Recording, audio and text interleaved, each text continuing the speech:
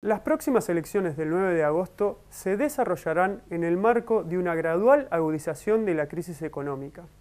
Crisis económica que se manifiesta ya hoy con el estancamiento industrial y el parate económico y una inflación que mes a mes reduce el poder adquisitivo de los trabajadores. La respuesta del gobierno nacional y local ha sido el recorte de los puestos de trabajo, la precarización el constante aumento de los impuestos y de los servicios, descargando la factura eh, sobre los trabajadores. Los candidatos que utilicen este espacio y hagan promesas eh, sin partir de una caracterización que aborde los problemas por venir, estarán mintiéndoles y ocultándoles la realidad.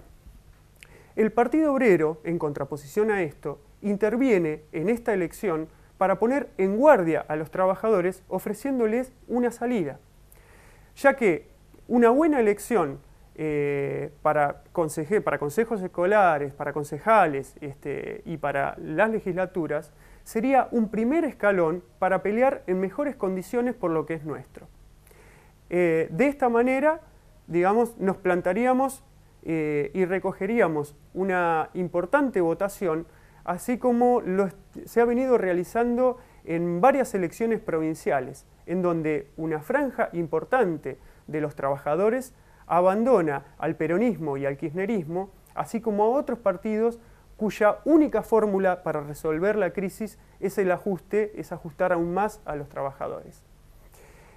En Olavarría esto también se manifiesta, se viene manifestando, venimos recogiendo eh, un apoyo al Frente de Izquierda y al Partido Obrero dentro del Frente de Izquierda como un agrupamiento político, como un polo de agrupamiento de los trabajadores capaz de pararle la mano al intendente y a sus mandantes. Es público y notorio que al intendente le ha resultado indiferente pasarse de la oposición al Frente para la Victoria, ya que eh, colgándose de cualquier candidato porque todos comparten una misma agenda y tiene una misma política de ajuste.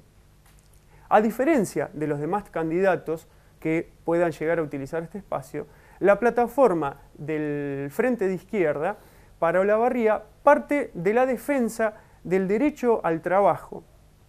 En primer lugar, eh, vamos a plantear la formación de una comisión obrera del Consejo Deliberante junto a las organizaciones de lucha de los trabajadores para relevar todos los sectores este, que empleen trabajadores, tanto sea en la industria, en el comercio, en las empresas de servicio y fundamentalmente en el Estado,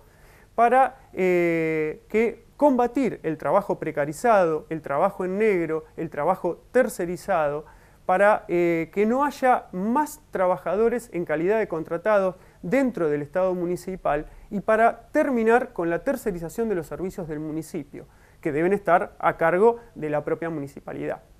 Para esto, digamos, eh, reformularemos el régimen impositivo. ¿De qué manera? En primer lugar, queremos impulsar la apertura de las cuentas municipales y ponerla bajo control de los trabajadores y las trabajadoras olavarrienses.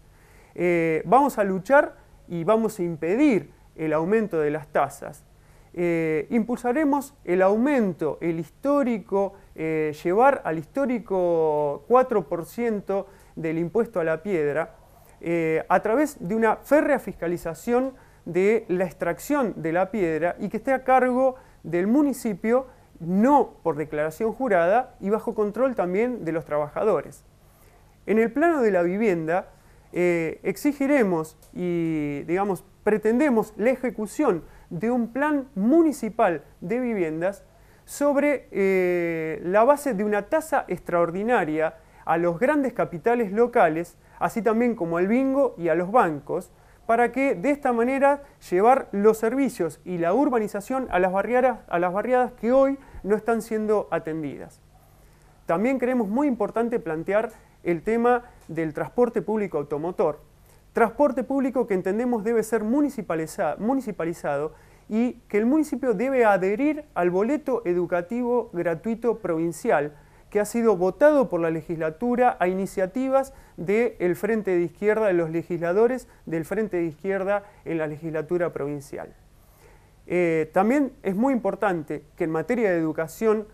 los trabajadores, las trabajadoras, toda la comunidad educativa decida en una asamblea educativa el manejo de los fondos del fondo educativo que llega al, al, municipio lavarriense y fije las prioridades de a dónde colocar ese fondo educativo. Por todo esto es que llamo a votar decididamente a la lista que refuerza la unidad del Frente de Izquierda. Lista que encabezan Altamira y Giordano como presidente y vicepresidente, a Néstor Pitrola y al Pollo Sobrero como candidato a gobernador y vice, a quien les habla como candidato a intendente, para que Antí Cortés llegue a ocupar la banca en el Consejo Deliberante por primera vez tengamos una bancada obrera y socialista en Olavarría. Es por eso que lo llamo a votar decididamente a la lista del Partido Obrero, boleta completa. Muchas gracias.